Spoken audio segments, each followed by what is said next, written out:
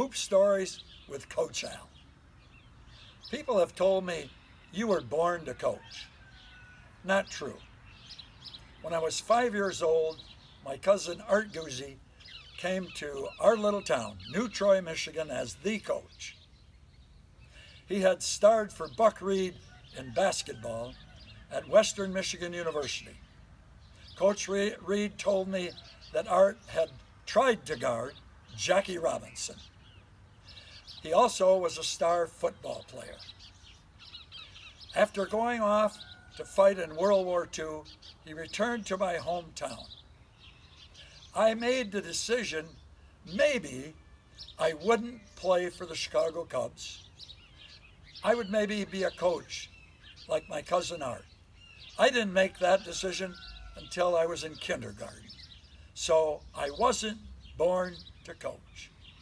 Next time, we're going to tell another story on how Coach Al became a varsity basketball coach for 45 years. And remember, always, and one to win.